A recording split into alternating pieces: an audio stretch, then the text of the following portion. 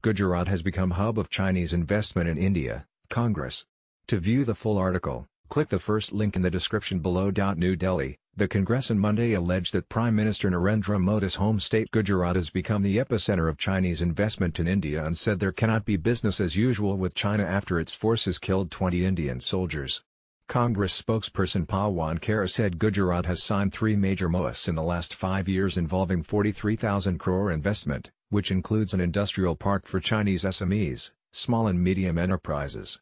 He claimed that business has not stopped in the last 20 days and cargo flights continue to operate between the two countries.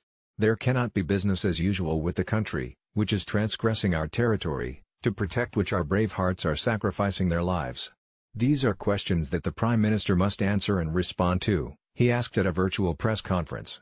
Khera said there are various methods of applying pressure on a hostile nation and since Gujarat has witnessed record investments from China, now is the time to use that pressure.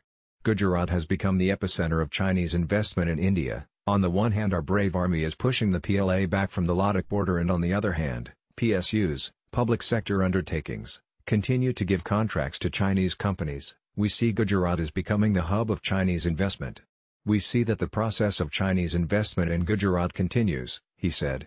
The Congress leader said the Prime Minister will therefore be asked if he has a special fondness for China. We grant him that, we have no problem, he has invested in the relationship for two decades, we understand that also, provided the country's borders remain safe, the country's economy remains safe from China, he said. To view the full article, click the first link in the description below.